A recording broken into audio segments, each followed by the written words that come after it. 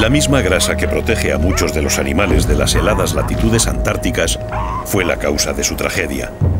Cuando el capitán Cook informó sobre las poblaciones de mamíferos marinos de esta isla remota, tras su desembarco en 1775, marcó una meta para los cazadores.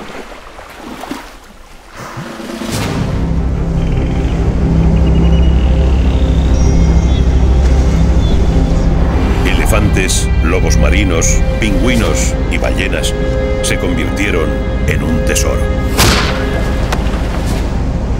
Las ballenas se llevaron la peor parte.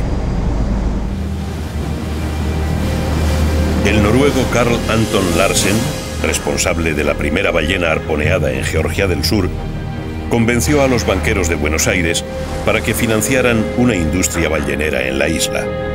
Y en 1904 se abrió Grytviken, la primera de las muchas estaciones balleneras que procesarían ballenas en las costas de Georgia.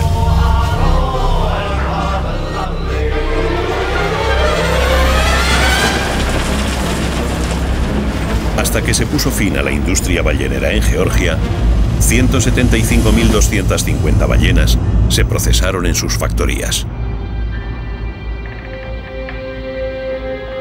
Luego, el mar de la Escotia quedó desierto de cetáceos y la industria ballenera se vino abajo.